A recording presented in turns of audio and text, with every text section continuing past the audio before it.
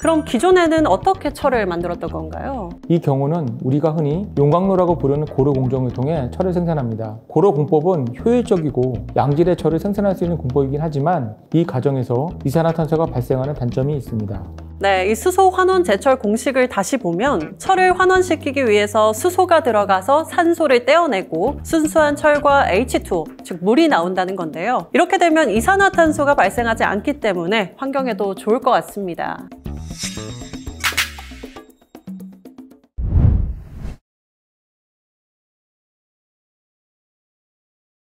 안녕하세요. 한국경제TV 아나운서 노경현입니다. 이번 Tech Talk에서는 최근 크게 화제가 되었던 포스코 판타스틸 광고의 심화편 2탄을 준비했습니다. 판타스틸 1편, 신철기 시대의 서막편 마지막에 살짝 등장했었는데요. 판타스틸 2편, green steel이 만든 미래에서 다시 한번 등장했던 화학 공식이 있습니다. Fe2O3 플러스 3H2는 2Fe 플러스 3H2O 바로 수소 환원 제철 공식인데요. 오늘은 포스코의 수소 환원 제철에 대해 알아보는 시간을 가져보도록 하겠습니다. 오늘 함께 하실 전문가 한 분을 모셨습니다. 포스코 경영연구원 이종민 수석 연구원입니다. 반갑습니다. 안녕하세요. 이종민 수석 연구원입니다. 네, 이렇게 화학 공식으로 시작하니까 마치 고등학교 화학 시간으로 돌아간 것 같습니다. 오늘도 용어를 먼저 정리해 보고요. 바로 시작해 보도록 하겠습니다. 수소 환원 제철. 먼저 수소는 사실 수소차도 저희가 익히 알고 있고요. 제철도 포항 제철소, 광양 제철소가 있어서 비교적 익숙한 단어인 것 같습니다. 그런데 중간에 환원이라는 말이 좀 어려운데요. 네, 자연 상태의 철은 산소와 결합된 산화물 형태로 존재하고 있습니다.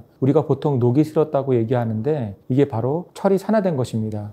철이 녹슨 부분을 보면 색깔이 붉게 변하는데요. 산소와 결합되어 있는 철광석도 산화된 상태이기 때문에 색깔이 붉은색이죠. 반대로 산화된 철광석에서 산소를 떼어내는 것을 환원이라고 합니다. 네, 아직 이 수소 환원 제철 기술은 상용화가 되지 않은 것으로 알고 있는데요. 그럼 기존에는 어떻게 철을 만들었던 건가요? 크게 두 가지 방법이 있는데요. 사용한 철을 다시 녹여서 리사이클을 하는 방법이 하나이고요. 이 경우 전기력 공법을 통해 아크열로 고철을 녹여서 철을 다시 생산합니다. 다른 하나는 자연 상태의 철광석에서 철을 생산하는 방법인데요. 이 경우는 우리가 흔히 용광로라고 부르는 고루 공정을 통해 철을 생산합니다. 철광석과 석탄을 전처리하여 덩어리 형태로 만들어 각각 소결관과 코코스 형태로 고루에 주입하여 철광석을 환원, 용융하여 샘물을 만드는 방식이죠. 고로 공법은 효율적이고 양질의 철을 생산할 수 있는 공법이긴 하지만 이 과정에서 이산화탄소가 발생하는 단점이 있습니다. 네, 이 수소 환원 제철 공식을 다시 보면 철을 환원시키기 위해서 수소가 들어가서 산소를 떼어내고 순수한 철과 H2O, 즉 물이 나온다는 건데요. 이렇게 되면 이산화탄소가 발생하지 않기 때문에 환경에도 좋을 것 같습니다. 철광석의 환원 과정에서 탄소를 사용하지 않고 수소를 사용하면 그만큼 이산화탄소 발생을 저감할 수 있으며 현재 포스코의 파이넥스 공정은 환원 반응의 25%를 수소를 사용할 수 있는 기술을 가지고 있습니다. 수소를 25%나요. 나중에 그걸 100%까지 사실 올리게 되면 완벽한 수소 환원 제철 기술이 될 수 있겠는데요. 지금 갖고 있는 기술은 어느 정도인가요?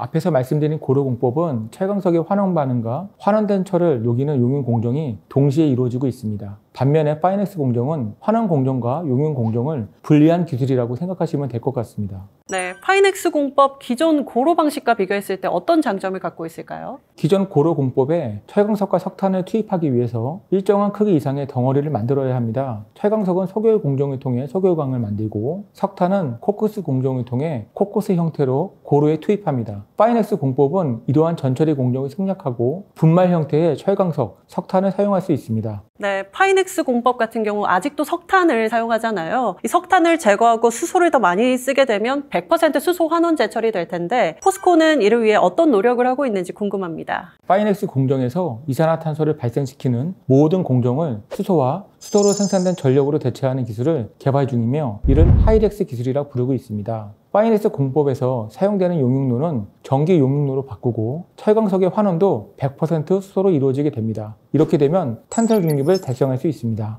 네, 포스코가 2050년 탄소 중립을 목표로 이 하이렉스 기술을 개발하고 있는 것으로 알고 있는데요. 언제쯤이면 이 하이렉스 기술 상용화가 될 수 있을까요? 현재 계획으로는 2026년 하이렉스 시험 설비를 준공하여 2030년 상용화를 목표로 하고 있습니다. 이후에는 현재 가동 중인 고로를 순차적으로 하이렉스로 대체하여 2050년에 탄소 중립을 달성할 계획입니다. 네, 진정한 탄소 중립을 이루려면 수소 환원 제철에 사용되는 수소도 친환경적인 방법으로 생산되어야 될 것 같은데요. 어떤 수소를 사용하게 되는 건가요? 수소는 생산 방식에 따라 구분할 수 있습니다. 먼저 분류수소는 LNG 개제 등을 통해 수소를 생산하는 과정에서 발생하는 이산화탄소를 CCS 또는 CCUS 기술을 활용해 제거한 친환경 수소를 지칭합니다. 현재로서는 수소 생태계의 조기 정착이 가능케 하는 현실적인 청정수소의 대안입니다. 두 번째 청력수소는 천연가스 열분의 기술을 활용해 만든 수소로 메탄이 주성분인 천연가스를 고온의 반응기에 주입해서 수소와 고체 탄소를 분해하는 방식으로 생산됩니다. 생산 과정에서 이산화탄소가 발생하지 않아 친환경 청정수소로 분류됩니다. 마지막 그린수소는 태양광 풍력 등 재생에너지에서 생산된 전기로 물을 전기 분해해 생산한 친환경 수소인데요. 궁극적으로 수도사의 실현을 위해 그린수소를 확보하는 것이 중요하다고 판단됩니다. 네, 앞으로 그린수소를 확보하는 게 정말 중요할 것 같습니다. 포스코 그룹은 이를 위해 어떤 노력을 하고 있나요? 포스코 그룹은 포스코의 수소환원 제철과 포스코 인터내셔널의 발전 사업 자체만으로도 대한민국 최대 규모의 수소 수요가 발생하는 기업입니다. 포스코는 글로벌 수소 공급망 구축과 핵심 기술 개발 투자를 통해 2030년까지 50만 톤, 2050년까지 700만 톤 생산 체제를 구축하여 글로벌 top-tier hydrogen provider가 되는 것을 목표로 하고 있습니다. 수소 생산은 재생에너지 환경이 우수한 지역에서 태양광, 풍력 등 재생에너지를 기반으로 한 수전해 방식으로 생산 거점을 구축하기 위해서 재생에너지 여건이 우수한 전략 국가를 선정하여 그린 수소 프로젝트를 개발 투자할 계획입니다.